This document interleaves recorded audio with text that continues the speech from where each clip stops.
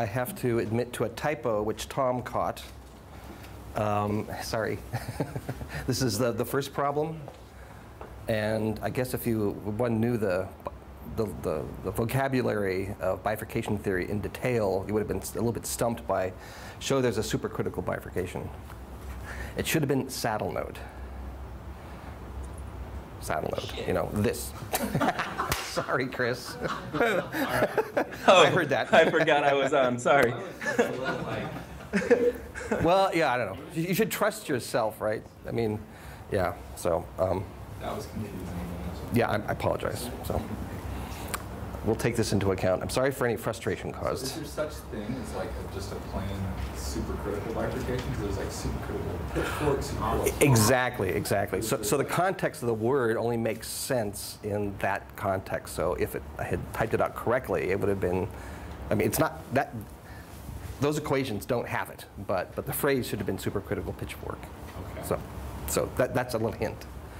And, and Tom, Tom just dinged me on that, so sorry. Uh, hopefully you trusted yourselves on that. I mean, if, there, if, there, if it turns out that people had a lot of problems with that, tripping them up, then we will take that into account. Uh, that, well, this tells you what I did last year. but anyway. okay, silly me which is, I mean, this is perfectly, you know, as soon as you run across, that's one problem waiting till like Monday night, right? If, if you tried it on Saturday, you went, what the hell? You send me an email. Usually I'm online. I could say, oh, sorry. Um, okay, so.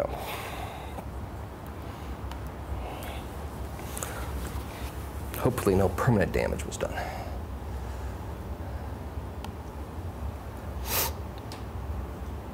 Well, of course I want you to do lecture 13.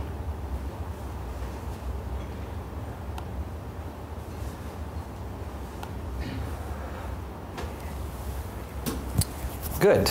Well, so um, we're going to continue talking about symbolic dynamics.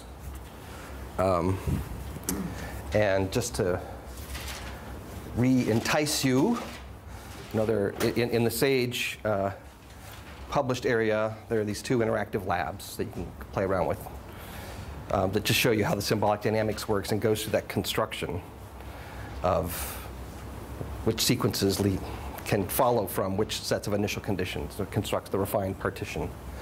So play with those. Um, and we're going to deal with some of the generalizations of Markov partitions today. Markov partitions are a little too constrained. And then um, I also want, I don't want to leave you with uh, too rosy a picture. You know, in some sense, the, the largest lesson here is that it's cautionary tales for when we measure things. In particular, how we measure things interacts with the dynamics. And so, so I'll show you a, a generalization, or well, I should say generalization, or kind of a relaxation of the Markov condition after we do one example in higher, two, two examples in higher dimensions, uh, called a generating partition. And then I want to show you, work through some examples where um, it's good to give the flip side. How could you badly partition something? We'll work through a case like that and come up with something you're already familiar with, it turns out, um, that we'll analyze again and again. Um, and then pretty much at the end of today's lecture, we're going to be over here, just dealing with these processes you know, over time series. You know, we've, we've made the argument, we're making the argument and ending that today about how we go from a hidden continuous system, how a measuring instrument interacts with it can, can give you, even for very you know, low resolution instruments, very precise information about a nonlinear dynamical system and how chaotic it is, but also how instruments distort. And then we're sort of done. Now, then we have this, this we're just presented with a process. And so, so the next lecture is going to shift yet again into talking about information theory. What, what can we extract? If I give you a set of sequences and their probabilities, what can you learn about how the process is structured? So, so, so we're, we're going to yet again have this big shift in focus, right? So, and hopefully at that point you'll start to get some sense of this very high level view, how we're borrowing ideas from different areas, dynamical systems, symbolic dynamics, information theory, and then theory of computation, and putting into this much larger narrative about what's going on in this measurement channel. Right? What are we doing when we do science? I mean, this is a little bit of a cartoon, but at least we're trying to see how these different specialties relate to an overall picture about how we can learn something from the measurements we make in an experiment. Okay, so the story continues. Uh, so I want to talk through, not calculate in detail, but sort of talk through how this Markov condition generalizes to higher dimensions. We started with one-dimensional maps.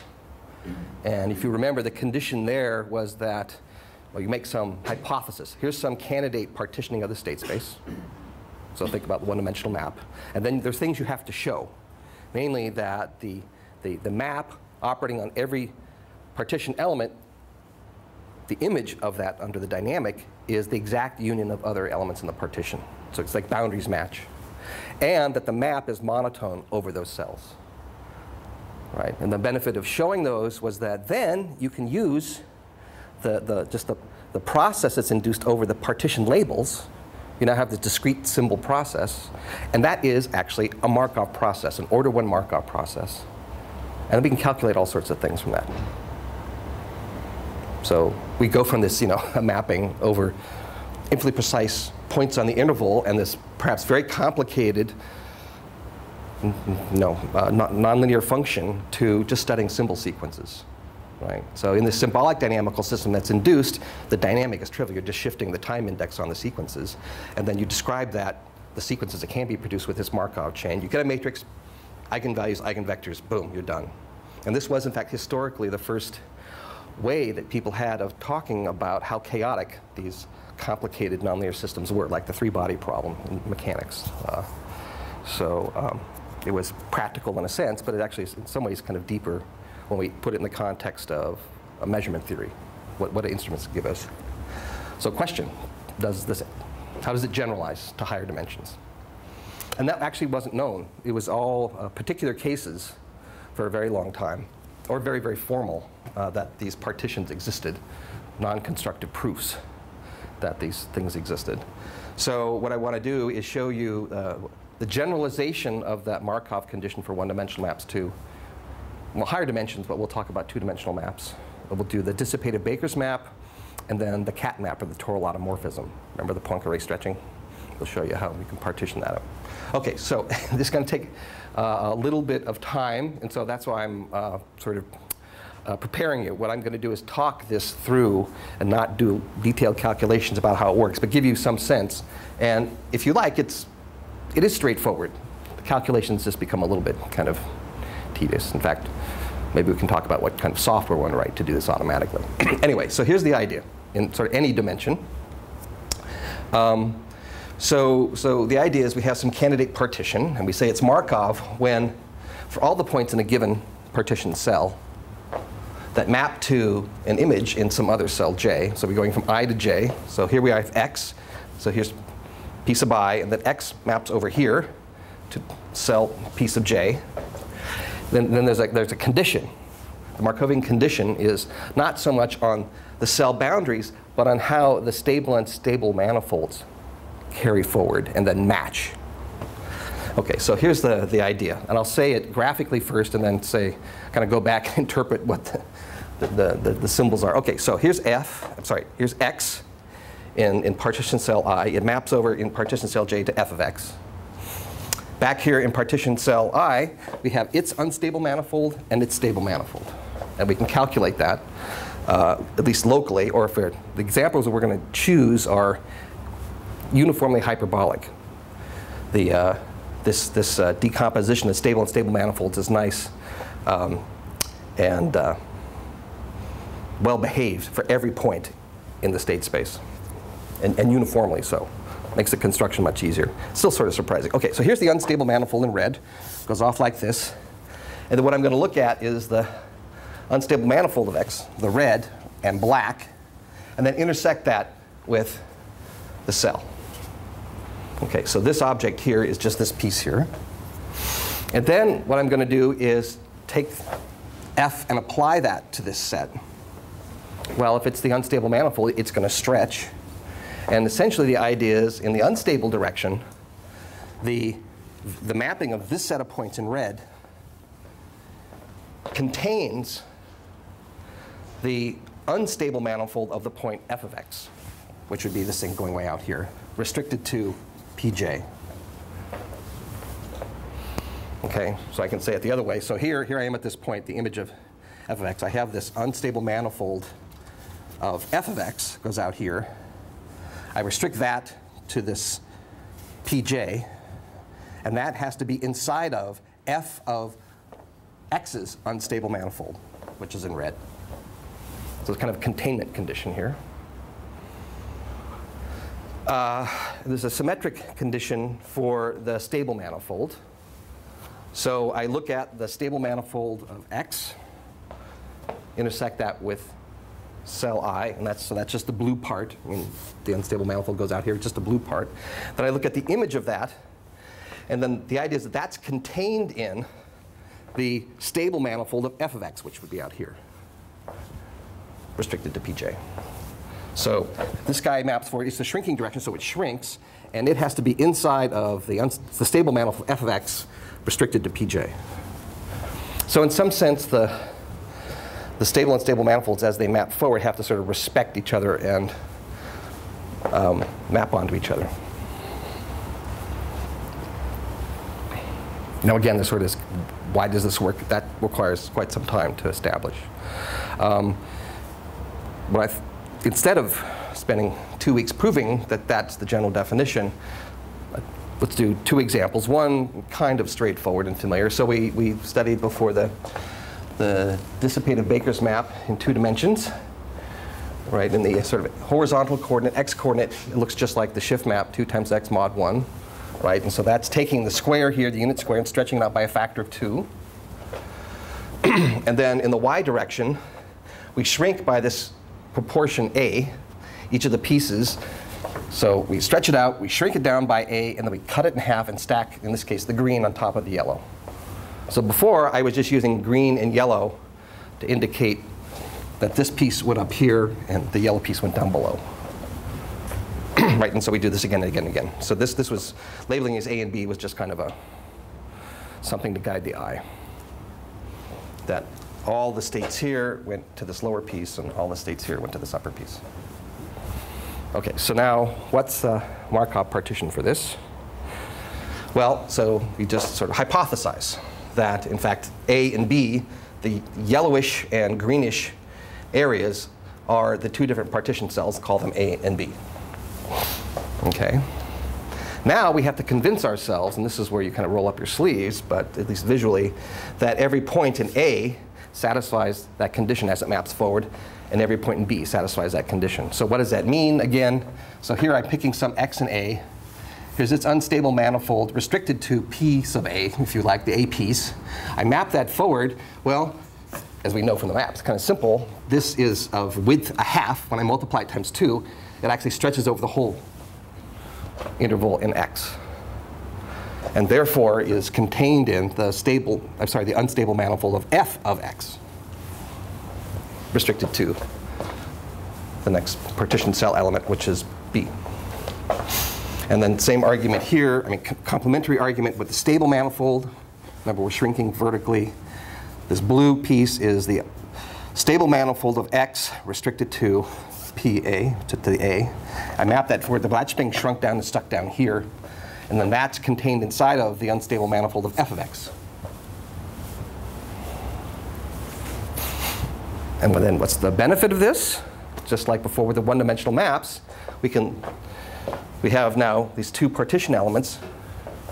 So we have verified that we can uh, summarize the continuous dynamics with the two state two states, and then in addition we can look at what state transitions are allowed to get the dynamic out. So so A uh, can go to A, right? So that's the light yellow piece of A maps to this, all the x values less than a half. So, so A goes to A. There's a piece of A that goes to B. There's a piece of B, kind of bluish teal colored, that goes to A, and a greenish color that maps to B. So all transitions are allowed, and we summarize that with this Markov chain. Again, the claim is that, that the, now, if you look at AB sequences, that's a faithful encoding of the evolution of basically any point under the Baker's map in the, in the unit square. Quantitative properties, we, we want to know about the Baker's map orbits. We can answer by calculating various properties of this. In fact, the, the information theory we're going to start introducing next lecture will tell us that there's some more properties we can calculate than we've talked about before using these state-based models. Okay, so yeah, Greg.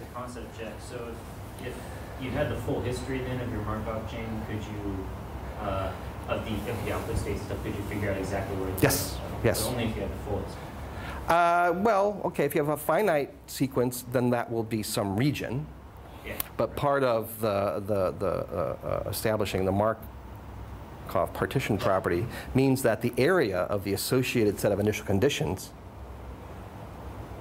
that correspond to some AB sequences, that area goes to zero as I look at longer and longer sequences. So then asymptotically, there's this, essentially a one-to-one mapping. I mean, there, there are some, but we'll talk about how some of this sort of messes up, but not too bad. right? There can be a little bit of ambiguity in symbol sequences labeling uh, orbits, but um, typically it's not too bad. Well, actually, I'll give you an example where it's horrendous, so I shouldn't say that. We'll see. But we'll talk about bad partitions. But this is, this is good, and we're just talking about how to take the idea that we understood for the one-dimensional maps and generalize it to two dimensions.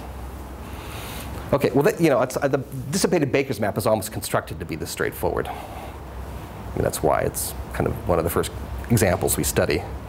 Now, more interestingly, and this wasn't known until the early 60s, a little surprising given these ideas have been talked about for 60 or 70 years before that, that there's a Markov partition for the cat map. So again, remember, this is the, I use that for the stretching the Poincare uh, picture, just to kind of demonstrate what exponential instability meant. So it's sort of straightforward. It's just this matrix here, 2111 times the current x value, and then you mod, put it back into the unit square to get the next. So, so and you probably recall this graphic. So this just explains how the map works. Here's our unit square. You know, we have states in the square. They get iterated. So the easiest way to think about this is to break it into two steps. One is the matrix times the current point, and then the second is to mod things, stuff it all back into the square when things fall outside of the square. Okay. So, so the yellow here is the image of the unit square. In particular, the 1, 1 corner goes up here to 3, 2. Right? You, you kind of see that, just put in 1, 1. um, the origin is always stable, right? If I put in 0, I always get 0 out. Uh, this point gets shifted over to here, and then uh, this point down here gets shifted up here to 2, 1. Okay, so we have this kind of laid out, and what I'm thinking here is, is just looking at the extended state space covering it. But in fact, this is mod 1 in both x and y. So in fact, um, none of the points in A shift because we're still in unit square, but for example, uh, if we're in B, we, well, the, the y values of the points here are between 0 and 1, nothing to do there, but the x values are between 1 and 2, so I shift this over here by subtracting off a 1, doing the mod. So the B piece shows up here. C, I, you know, mod and mod gets stuck over here, and then D, mod, mod, it sandwiches in here. So, so this is how the mapping goes all together. And then do it again, and again, and again. Right, as you saw, it took the, took the uh, Poincare image and just a few iterates completely scrambled. You could no longer see Poincare. All the colors were still there, but they were now scrambled in their spatial relationship, and we lost that initial information about Poincare. And we also talked about the stability analysis. So this is all going to come back and be really important for the construction. Right, so before we had basically just the eigensystem analysis of that 2111 matrix. We're doing a local analysis of some point in the square, and we want to know what are the stretching directions and what are the shrinking directions. So the stretching directions correspond to this eigenvalue, and then there's a companion eigenvalue that's less than 1, so that corresponds to shrinking. And the directions are given by the eigenvectors, the associated eigenvectors. So I've just kind of drawn it out here. So here's the origin. Um, the, no- notice that the lambda and the v's don't depend on x. That's one of the things. So we're not changing the amount of stretching and shrinking as we move around the state space. And this makes this example particularly easy to analyze because it's not state dependent. So, but let's just focus on on 0, 0. And so we have this picture that the unstable manifold goes off in this direction. It actually doesn't align with where your eye might think it should. Um, and then there's an orthogonal uh, um, stable manifold. I'm showing the vectors here, but this is contracting, this is expanding. And the rates are given by the lambda 1 and lambda 2. So red in the graphics I'll show you is the unstable manifold of some point, and blue will be a stable manifold at some point. Here, just the origin. Okay, but we already did that. So the, the, what was figured out in early 60s by this mathematician, Ben Weiss, fact, it's kind of fun to read this little paper where he talks about this, because very rarely in formal math papers do the authors ever say how surprised and excited they were. But this paper's kind of cute or amusing for that. He's like, "Wow, I didn't believe this would work." He knew, in, you know, there were sort of non-constructive proofs, but actually doing this. So what he did was he looked at all of the unit points here, which under mod 1 are all associated with the origin, right? We're thinking of this as periodic boundary conditions in both horizontal and vertical. And he just calculated out all their stable and stable manifolds. So I just talked about the unstable manifold and the stable manifold of the origin. Um, I can also look at the unstable manifold of minus 1, 0, um, the, the stable manifold of 1, 1. They, they kind of laid this all out and basically just had a flash of insight that once you looked at sort of the kind of the, the, the, various intersections and the subcells that you get from just kind of naively laying out the boundaries, the stable and stable manifolds, it suggested this pair of squares as the fundamental units, the fundamental cells of a Markov partition. So I'll, I'll talk through this. Again, it's straightforward. Remember, we're basically just trying to see that every point in here has this sort of, you know, it's, it's unstable manifold, unstable manifold maps into its image, unstable manifold, things kind of align. So, so I'll just talk this through. But so hypothesis, it's not saying that R1 and R2 are, uh, you know, a Markov partition. It's not obvious at this point that this should work, and that's why he was so surprised. I would say almost giddy in his writing of the paper. Um, and, and there, are, there are alternatives too, um, but let's just go through this one construction. Okay, so, so the first thing to note is that this is a partition of the state space. And the sort of, you, you, could, you could go through here. Well, let me just say, I mean, every one of the corners here for R2 and the corners for R1, they're the intersection of a stable and unstable manifold. We know what those directions are, and therefore we can calculate exactly the point in two dimensions that are the corners. So we just, uh, you know, is this a partition? Well, you have to, sort of two ways to do that. You might think, well, what I really should do is see all the pieces that fall out if they map back in and kind of fill out the unit square. The other way is just to look at this, this, this cover space, all the unit squares that's laid out, and to see if R2 and R1 tile. And they do. I mean, you actually have to calculate things, but, but the result is yes, it's a tiling of the plane, completely covers the state space. No holes. Okay. So, so here we are, and now uh, it's a partition that has to be established. Now, of course, the, the real, the real uh, effort here is to figure out what the images of this look like, and if they fall kind of exactly back into themselves. Okay, so here is f of R1 and R2. And you'd have to convince yourself of this, but you know, not too hard. You can iterate points. So claim. Here's R1, square here. It maps to this right here. And I'm denoting it f of R1. It's this long, thin, yellow image of R1.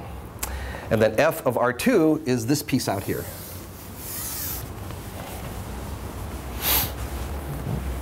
And when you look at it, you can see that, you know, at least uh, the boundaries along the unstable direction of the cells maps to the, the boundaries, or at least the uh, stable manifolds of other uh, points. So there's some hope. If, if, if, if f of r1 had gone just a little bit into here, you'd be very suspicious that that was good. So the boundaries are kind of aligning. That was the first thing he was looking for.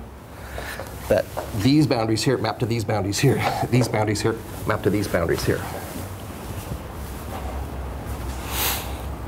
Okay.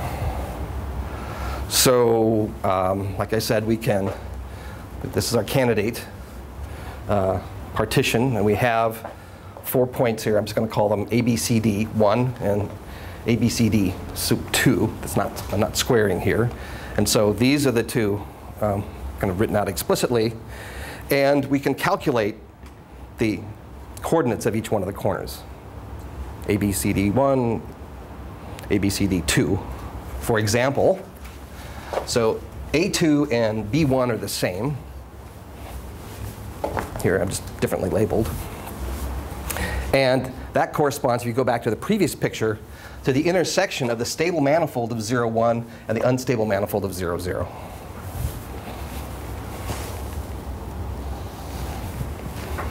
Here, okay, and then it's the unstable manifold of the origin and the stable manifold of 1, 1. Okay. And so on. And you just kind of go through and write this out for the other things. Just a bunch of algebra in principle that you could calculate uh, where those points are. Um, now, the, uh, another thing you want to test for consistency is that, that the image of these um, rectangles also tiles the plane. Well, we know that the, the whole um, map is area preserving because we calculated the determinant, which is just the product of the eigenvalues, and that was 1. So we have these things that are shrinking down and stretching out, and they preserve area, and they sort of match on these boundaries. So you can argue that they also tile the plane this way. But sort of more interestingly, let's focus in on, right, we have to, now we got this, the images of the rectangle spread out over the two-dimensional state space. We have to make, we have to see how they map back into what the relationship is to R1 and R2. So, so here's the, the, the, the claim that uh, if, if I look at the image of R1, that is contained inside the, the union of R1 and R2. So this is maps to here and here after I've kind of mod 1. So now we're kind of coordinate free here and just showing the relative uh, relationship. And then the, the R2 maps to these three pieces, which is the union of R1 and R2. Again, all these statements require a little bit of algebra calculation to verify. Um, in fact, there's a little more uh, sort of fine structure here. So you kind of complete the establishing this as a Markov chain when you can look at how R1 and R2 map into each other. So what I've done here is there's another actually stable manifold that you, gives you the dividing points. What I've done is break R1 into two pieces labeled 1 and 2 and R2 into pieces 3, 4, and 5. And then, so, so, so the piece of R1 that's labeled 1, that stays within R1. This other piece, all the points in the 2 section of R1, those are points that map to exactly R2. And then the same kind of analysis here. 3 are those points of R2 that stay in R2. 5 also stays in R2, but then 4, this middle little piece here, is actually that part of R2 that maps to R1.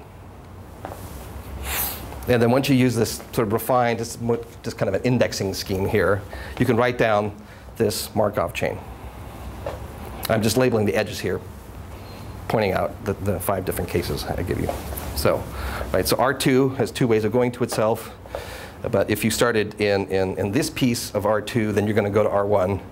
R1 stays to itself because this piece just maps to here, and then R1 goes to R2 on the 2, and so So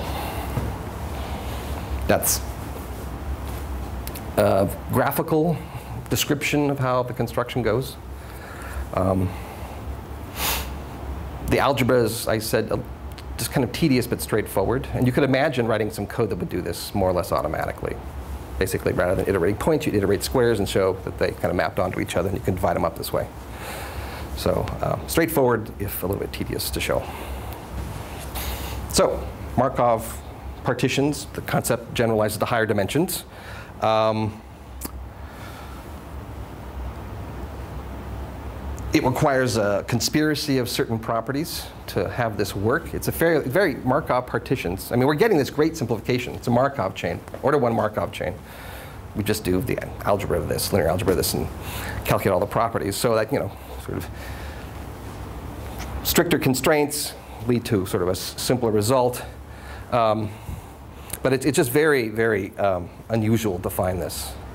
Um, there's sort of general constructions for these these, these simple linear maps on the unit square. you can imagine generalizing that to higher dimensions. So that all kind of works when it's uniformly expanding, contracting, uniformly hyperbolic, things like this. So there are classes of, of systems where you can do this. Um, and it requires this sort of the, the, boundaries respecting the stable and stable manifolds and sort of essentially mapping onto each other. Well, that doesn't happen very often. So now I want to I guess, give a little bit of good news that there's a simple generalization of, of the Markov partition, and it, it will correspondingly work with a larger class of systems. Um, and then I'll kind of go through a number of cases where things kind of mess up and then directly talk about how bad can it be if I just willy-nilly pick some partition without doing any kind of analysis. What, what, what could uh, an arbitrary partition of a dynamical system lead to? So, okay, so first the good news. Okay, so the idea here, the generalization is called the, uh, a generating partition.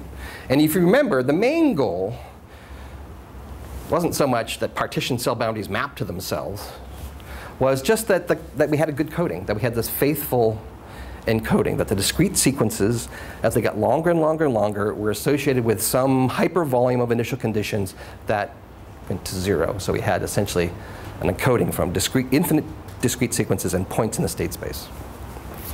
Okay, so that's the criteria that generating partitions focus on, not this more um, boundary to boundary exact matching idea. So much easier to find the Markov partitions, and I'll show you in the case of one-dimensional maps. It's a very simple rule. But again, the main criteria is that the set of initial conditions, the size of them goes to zero as we look at longer and longer sequences. So these, again, the cylinders, remember those are sets of infinite sequences that, that share some word label points in the state space as we go to longer cylinders. Um, and I also emphasized last time the, the, curious thing about this, and it was particularly easy to see in the one-dimensional maps, that, that this construction works. Having good codes actually depends on the system being chaotic.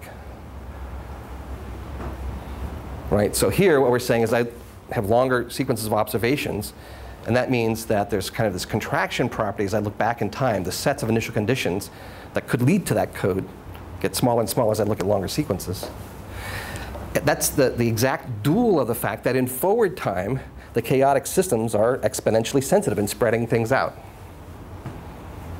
You need, you know, it's, they go hand in hand. So, kind of interesting and positive aspect of chaotic behavior. It's not just all, oh, the world's unpredictable. In fact, sequences are more and more informative for chaotic systems about where they could have come from, what the initial states could be. Now, there are a few slightly messy things which I'm doing you know, just a horrible job kind of racing over them. There, there are caveats in some of these things, but we're not going to go into technical details.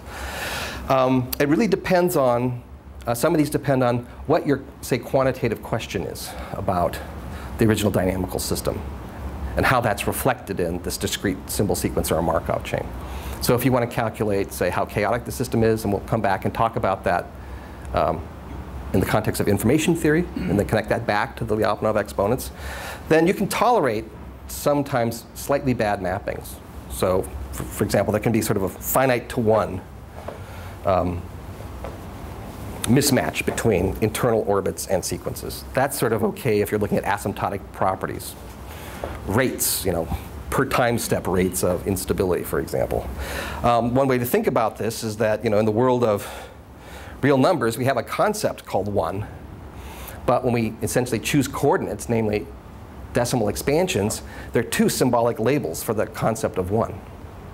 Right? We have 1.0000 going off forever and 0.99999. So a decimal representation of the real number one is ambiguous. But that's finite to one. I have two, two symbol sequences that correspond to the same point on the line. Doesn't usually bother us, right? That's okay. Same kind of thing here. What happens, you'll find this kind of ambiguity in the codings if you study these in detail when you look at points very close to the boundaries of the partition cells. Okay, so, but that's okay, it's finite to one. Okay, so, so we're looking for these generating partitions with just this much looser requirement that it's a faithful encoding geometrically that the set of initial conditions that can produce them gets smaller and smaller as I look at longer sequences. Well, Markov partitions are generating, have that property. Um, and when we have a Markov partition, we got out this Markov chain, or the more technical way to say that is we, we partition up this continuous state dynamical system. And if you remember back to the, uh, our, our discussion of how dynamical systems push probability distributions forward, there was that Perron-Frobenius operator. That's a continuous integral operator, and when we just do that over this discretized state space, we end up with this finite state Markov transition matrix. So there's actually kind of a way you have to sort of get through the, if you want to talk about the evolution of probability distributions, you start with the Perron-Frobenius operator over the, the um, continuous state space, sense coarse grain that, and then we end up with this finite state operator, which is just our regular old Markov chain model. So again, that was, that was good. Now, in the case of generating partitions, mm, that happens. That's nice. Sometimes we'll have as the output the resulting process over the, of the discrete uh, uh, partition um, cell alphabet can be some sort of finite uh, state thing. But in the general case, we're going to get these hidden Markov models. That's why we introduced these before. And sometimes they're finite, internal state set is finite, and sometimes they're infinite. And in fact, they can be infinite in a couple different ways, like countable infinity states or an uncountable infinity states. So we have to work with that. We'll, we'll, we'll, build up to being able to calculate things in these cases. Um, but um, sort of much more, much, much more interesting.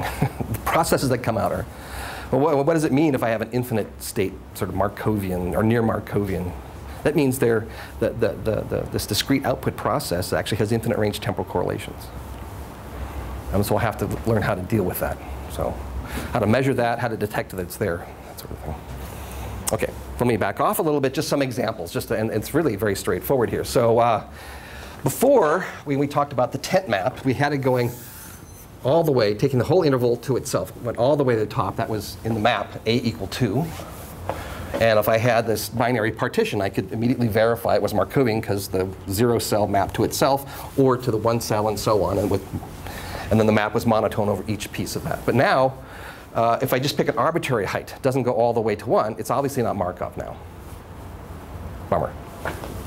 Right? So zero maps to itself, but then there's a piece of zero that maps only to part of the one cell in the range of F. No good. So this isn't going to be a Markov partition. Turns out it's generating. So as long as the map has slope greater than 1, this simple binary encoding where the decision point, the boundary is put right under the maximum map, that is an encoding now in this generating partition sense of long binary sequences identify smaller and smaller sets of initial conditions. And there's that SAGE uh, interactive lab where you can put in the tent map and see that it holds for that too at different parameter settings. Basically, for any parameter setting where the slope is greater than 1, this will be a generating partition. Okay. So only Markov at slope 2. Well, actually, if you remember the example we did, it's also Markov where two bands merge to 1, four bands merge to 2, and so on.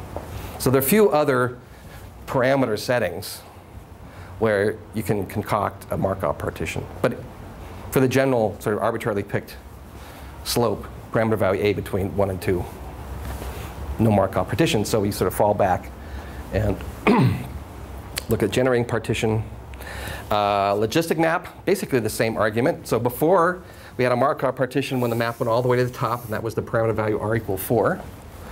Uh, other settings, hmm, well, band mergings it works, but just like the tent map. we need something else. And so it turns out this dividing the interval in half, right, uh, underneath the maximum gives us a generating partition. So here's the general rule. At least for one-dimensional maps, we can make a, a, simple rule out of this. So if, so if I just you know, squiggle out some arbitrary f of x, some map I'm going to iterate, so we call the monotone pieces laps, in historical terminology. So this is one, two, three, four, five, six laps. The rule is to find a generating partition is that you put a partition divider underneath each extremum. So here, six cells. Basically one cell per monotone piece. And that'll be a good code. Just kind of the more general So, As long as the map, sort of on average, is chaotic, has this expansiveness property, this will be a good partition. It's, it's a little harder to tell if, you know, what's the balance between stabilizing, contracting areas where slope is less than one, and expansion areas in an arbitrary map. So what we say is that, we, well, some sort of measure of chaotic behavior would be like positively Lyapunov exponent. If that's the case, then this recipe will give you a nice generating partition. You'll have faithful encodings. so that's pretty easy. Basically, you can imagine to the huge space of one-dimensional maps. So we have good codes for those. Um, so uh, can sort of imagine the situation where maybe it's higher dimensions. It's not, it, gets much trickier. in fact, in our research group, we're going over how you partition other kinds of maps, higher dimensional maps, um, not so simple as the, as the cat map or dissipative Baker's map. So it's still uh, some more sophisticated techniques let, let you uh, sort of hunt around for some sort of good encodings. Um, but now I want to give an example that sort of shows you what happens if you don't have a Markov partition or generate partition. In other words, in a sense, you've picked a bad measuring instrument. So here's a construction that's going to lead to a familiar example we've already studied. So, so, so we'll look at the um, logistic map again, and also where it goes is fully two one to one, goes all the way up to the top.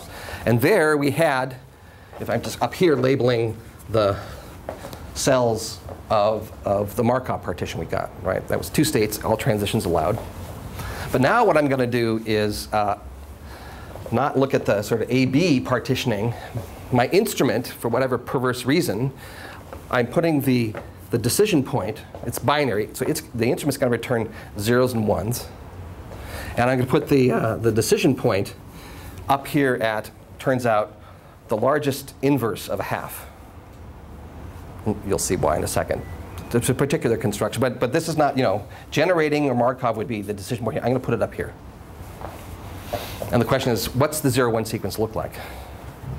We know that the logistic map at this parameter value has the largest Lyapunov exponent, it's most chaotic. We do the Markov partitioning, nice two-state Markov chain, great. Calculate things. But now we're sort of relabeling things with this who knows what, at least initially. So we now have this partition that from 0 up to d, for most of the interval, it outputs a 1, and then occasionally for d up to 1, it outputs a 0. Okay. Well, we know that this Markov chain captures all of the sort of chaotic dynamics. There's essentially, a, the, the AB alphabet is a good encoding, so we can study sequences over here to understand the, the continuous logistic map. So now the question of what does the, the, the 0, 1 process look like, we can change that into a question about how the, uh, this AB Markov chain generates the 0, 1 sequence. So again, AB sequences give a faithful representation of the logistic map itself. And then to answer the question, what does the 0, 1 process look like, is really just a relabeling of this and then we can say the relationship between AB sequences and 0, 1 sequence to answer our question. How good or bad is that? Putting D up there. So here's the labeling. So when you have to just kind of go through and convince yourself. So, so uh, A goes to itself. Uh, so A goes to itself uh, and also to B down here. And both of those are on one, right? So, so states in here go to A or to B. Okay, so our head's inside the box. We can see the AB sequence. That's good. But both of those are transitions that the instrument's going to output a 1 on. So A goes to A on a 1. A goes to B on a 1, too. Same thing down here. B goes to A, B goes to B. I should say B goes to A, B goes to B. Um, when B goes to itself, uh, it happens on a 1. It's this set of points here. So B, B goes to B, B goes to A. So it's the upper piece here. That's why I chose the divider here. There's a piece of B that goes to B. Piece of B that goes to B. And when the instrument sees that, it outputs a 1. And then there's a piece of B that maps to A. And that is labeled 0. There's a piece of B that goes to A that's labeled 0. So the claim is, what I'm sort of arguing is that rather than sort of now look at, try to answer this question on the interval, I can just study this hidden Markov model to understand the relationship between the output sequences and the continuous states. Well, no, I'm using the proxy of the internal Markov chain over AB because that, we agreed that was a good encoding. So we just have to study this. The relationship between the internal state sequences now and the 0-1 process is essentially the answer to this question, a way of analyzing how good or bad this partition is on the interval of the map. This should look familiar. well, we talked about this. This is the simple non-unifilar source. And it will be a prototype we will come back to again and again and again. So remember some of the curious properties of this. So if you don't know what internal state the process is in, but then I tell you, oh, you just observed zero, you look at your, your model, you go, oh, I know, it's an A. From that point forward, though, the next symbol I can predict with probability 1. I'm going to see a 1. No matter what transition take, I'm going to see a 1. So if I see a 0, I must see a 1. So this is sort of like the golden mean process, no consecutive zeros. But if I see a 1, say I knew with probability 1 I'm in state A after I saw a 0. Now I say, oh, 1. Well, you can predict it. Now I ask you, what state is the process in? Well, it turns out the trans I didn't write it down. The transition probabilities here are 50-50, like the previous model we introduced. So actually, I'm exactly uncertain after the next step, after a zero. I see a one, but I don't know which state the process is going to be in, A or B with equal probability. And then if I see another one, it turns out a little bit of probability leaks over to B. Another one, little probability leaks over to B. And we need to know what the internal state probabilities are to make a good prediction of the probability of seeing a 1 or 0 in the next time step. We have to know that. So as a consequence, as we see more and more 1s, our updated guess as to the internal state probabilities keeps shifting. These are different states of knowledge, and we have to keep track of them. And so it's actually just a few more steps where it's essentially if I keep seeing ones, ones, ones, there's all this state information or predictive state information I need to keep track of. And that's going to lead us later on to construct an inf countable infinity of states for this, for an exactly predictive model. So there's some funny things going on here. So this is an example of how it can go wrong. Right? The, the question I was trying to illustrate here is rather than these nice encodings Markovian are generating, just plop down some other point. Well, I picked one that's a nice construction. In this construction, R equal 4, we know what that asymptotic state distribution is. I can calculate the probabilities of these partition elements, transition probabilities, all in closed form. The net result when you do this is you get this simple non-unifilar source. Right, remember non-unifilarity was exactly this property. State, I should say unifilarity was state plus symbol uniquely determines the state, and that's broken here. If I'm in state A, a 1, I can go either to A or B, so that's just broken. It's not unifilar. And that leads to this bad encoding. There are lots and lots of internal state sequences that lead to all ones. So in other words, if I see all ones, a lot could be going on inside that's not reflected in my measurements. That's bad. That's not a good encoding. Right? I can generate ones just by staying here. I can generate a bunch of ones and go down here and then generate a bunch of ones. There are all sorts of internal state sequences. In fact, it's infinite to one. This bad partition choice makes the mapping between internal state sequences to observed 0-1 sequences infinite to one. We're throwing an infinite amount of information away. Not good. So again, you have to be careful about these things. Okay, so that's how it can go sort of uh, haywire in one dimensions.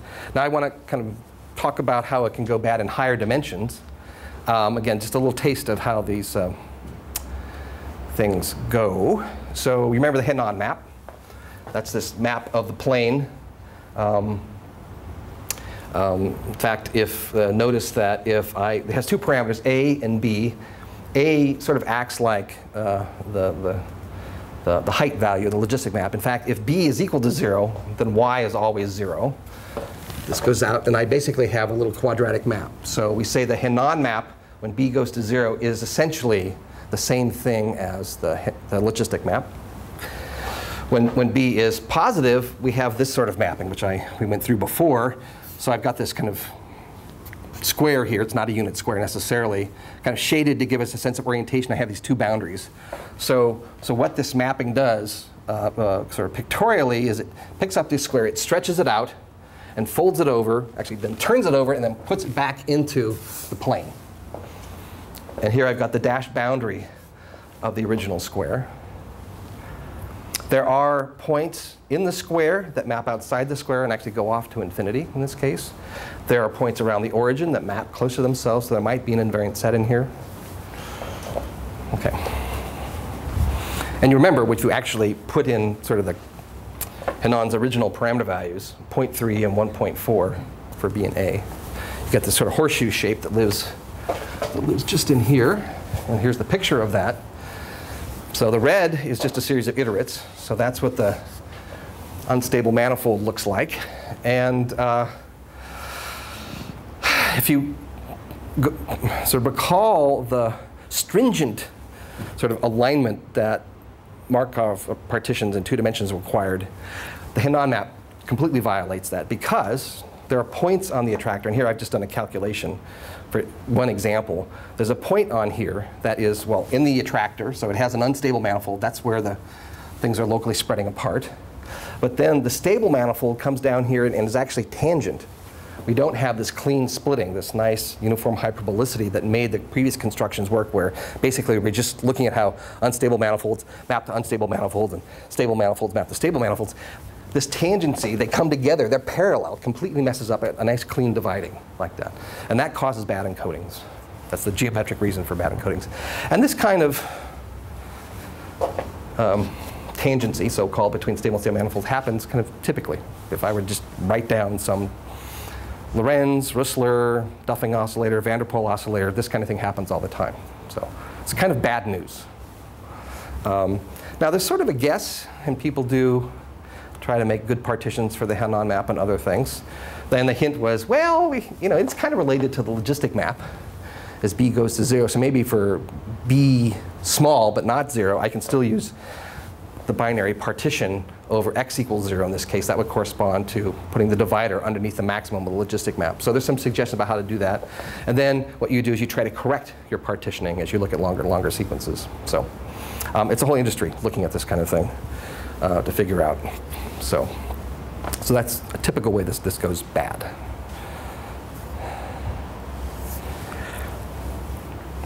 So just to sort of summarize things, uh, so the last, I guess, what, well, the two symbolic dynamics lectures, but even before that, talking about probability and so on, is trying to set up um, not so much, you know, uh, uh, a picture of how we analyze dynamical systems, but really to think about what the measurement process does and how a measuring instrument interacts with the dynamics. So I've given you know, some positive results that amazingly there can be these very nice discrete valued processes that are great encodings of the continuous state uh, dynamics of a system, but also a number of cases where this doesn't work at all. In fact, it's kind of typical. That sounds kind of bad, but they're good approximation schemes. Um, the benefit uh, when things work well is that we end up with this discrete value sequences and their probabilities, discrete valued stochastic processes. Um, now you might say, well, maybe the message is kind of bad. We don't have these, always have these nice encodings. Well, there's just a really practical issue. Very practical. Forget all the math. When you go to DigiKey and buy the 16-bit analog to digital converter, you're discretizing. We have to deal with this. We have to understand when we're looking at continuous state systems, what do these discrete sequences tell us? So I actually don't see the kind of the positive negative sort of story about symbolic dynamics is, is actually, you know, it's not our fault that that worked out that way, but it gives us some picture of, of when it can work and, and, and, what, and the criteria for when it works well. So hopefully there are cases you can do. And then there'll be cases where we just deal with this in discrete data. And I hope, you know, um, it doesn't get too bad. I mean, if you had infinite precision analog to digital converters, maybe this wouldn't be an issue. But then, even then, you'd have an infinite amount of information you'd have to process. So there's even kind of a practical data, amount of data trade-off here that comes into play. So they're very practical issues why you want to study symbolic dynamics. Not just be the specialist who's trying to come up with these really very contorted codes for a three-dimensional smooth nonlinear map. It's just giving us an idea of what goes on. Measuring instruments interact with the system. I mean, that said that way, it almost sounds quantum mechanical, right? Quantum theory stands in physics as this unusual situation where we have to worry about how the observer interacts with the system, which Einstein couldn't, didn't like that, right? Even what I'm arguing here is even in a classical setting, we have to worry about the measuring instrument and what it contributes or doesn't contribute. That case of the simple non-unifilar source, the non-unifilar partition, if you will, we're going to see that that bad choice of measuring instrument actually adds complexity. It throws away randomness that the system has generated, and it adds apparent structure and complexity. Both of those are bad. So, so we,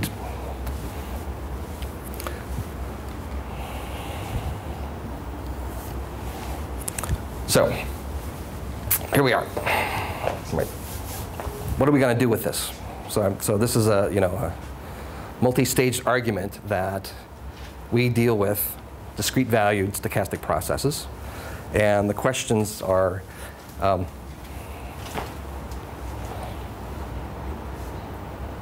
what can we learn from them?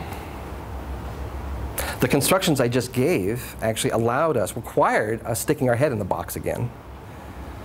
Because I had to see how these partition cells mapped into each other, and I was using the map to do that. Imagine that you just made a bunch of measurements, this is before you've even started, you haven't been studying your experimental system for a while. I just give you a bunch of data. You don't even know what the dynamic is. You've got the time series of measurements. What? What are you going to do with that? So that's kind of the burning question now that we reduce this down. We have some appreciation of the complications. Also, the hopeful picture, maybe we get lucky with a good partition or know how to construct them. Simple models can be analyzed very straightforwardly. So um, so, so what do we want to do with this resulting process? A whole range of questions. Um, what we're going to focus on is how to measure from these uh, discrete valued stochastic process how unpredictable and random they are. Um, over what range do we have correlations? Like I said before, um, for that simple non-unifilar source, there actually are countable infinity of states. That indicates that that bad measuring instrument induced infinite range correlations on the logistic map that at that parameter otherwise looked like a fair coin. So, so we need to, what, what, do we mean by correlation? What do we mean by structure? Um, and then, okay, so th this is kind of a maybe quantitative or mathematical stati statistic set of questions. We're not going to use statistics so much as information theory, but how do I build a model? Right? I mean, we're the recipients of all this data coming out. How do we build a model? What does it mean to build a model? Um, if I give you the data, is this a first order Markov chain, second order hidden Markov model? What? And what do we mean by state anyway? If I just give you a time series, what are the effective states of the process? You know, if I can discover what the states are, maybe then I can then figure out how they transition to each other and get a dynamic out. So is there a way that I can build these various kinds of Markov and hidden Markov models just given time series data? Or even perhaps more ambitiously, is there some way that by looking at these finite resolution measurements of our process, I can actually reconstruct the internal state space, continuous state space, and say differential equations that are governing the system from the data.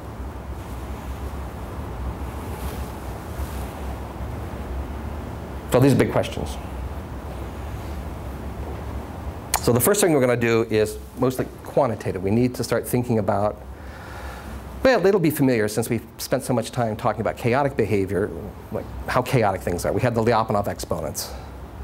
But there are other issues. How structured? What is correlation that we have to get to? So we're going to go through elementary information theory and sort of tease it out. Um, and we'll start, start reading the Cover and Thomas Elements of Information Theory book, just the first few chapters of that. Um, and then extend that to deal with arbitrarily complex, arbitrarily correlated processes over discrete alphabet. Introduce some new quantities from information theory.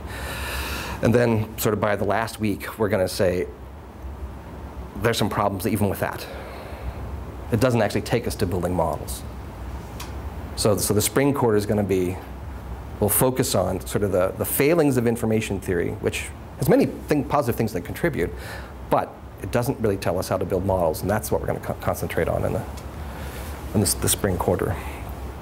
So pretty much at this point going forward, we're going to study processes over discrete alphabets, stochastic process over discrete alphabets, and try to answer these questions. And I hope to convince you there are positive answers to all of these things. But we need to think harder about what it means to make a prediction, build a model, what are states, what is information. One of the points of the information theory introduction is information is not a unitary concept depends on the context of use. And so we're going to end up with a, a, hierarchy of different information measures. Some relate to randomness and unpredictability. Some relate to memory. Some relate to correlation. Some relate to synchronizability, how easy I can figure out what the internal states are, and so on. There'll be a whole hierarchy of these different kinds of information. And even then, it won't be enough to get to modeling. So. Okay, so that's it for today. I guess I'm finishing earlier and earlier. Oh well, that's fine. Uh, but now questions, of course, these are. Yeah. So when you're saying the reading is just the lecture notes, just look ahead at the slides for the for the next. Actually, in this case, uh, yes, which means that right tomorrow I'll put those up. But if I'm not, if I'm remembering correctly, it's the first chapter or two of Cover and Thomas.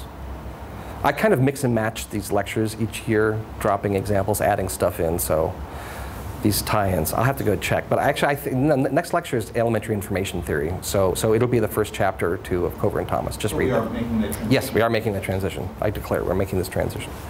Then I'll go look at my notes and realize I'm forgotten. But yeah.